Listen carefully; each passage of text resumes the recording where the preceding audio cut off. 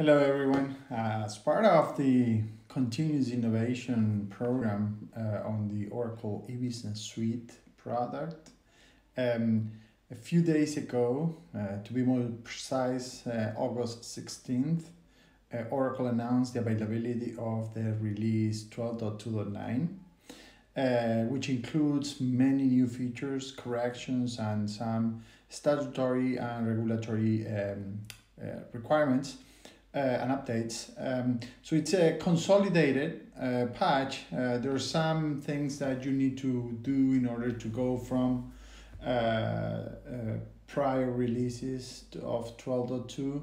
Um, there are two paths in the and you can find information in a readme file uh, but there are two ways path a and path b to go through um, the app update of your current e-business suite uh, I've been working on uh, evaluating all the different uh, new features. I'm counting on the applications technology just for 12.2.9 about 47 updates. Uh, on the financial side about 10 uh, that are important.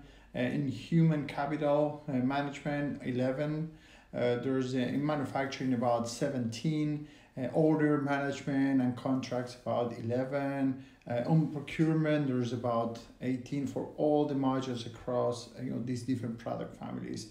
So we're counting about you know about 200 uh, overall in EBS. Uh, the the updates and new features and changes uh, on uh, just new features uh, that are on the release content document available on my Oracle support.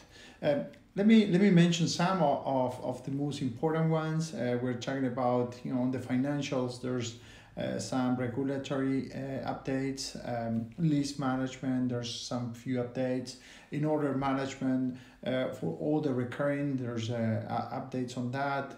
Um, in the logistics um, family, uh, there's a very important addition of uh, approvals management engine uh, that allows you to do parallel approvals, etc. Um, there's, as I mentioned, there's a few good updates on procurement, uh, adding a, a, a, approvals management engine, uh, as well as some new features for you know like you know, passwords on iSupplier, etc. Um, there's a um, good uh, update on on projects for project costing and project billing.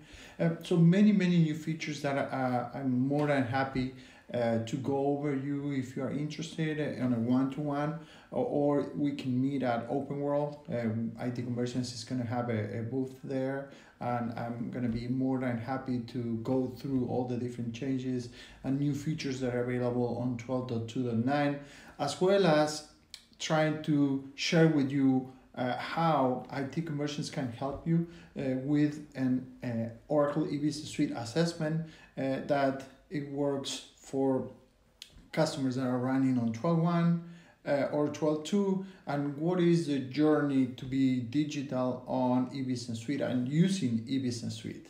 Uh, so I'm very happy to, to help you with that. You know, just let me know uh, and I'll be available. Thank you very much.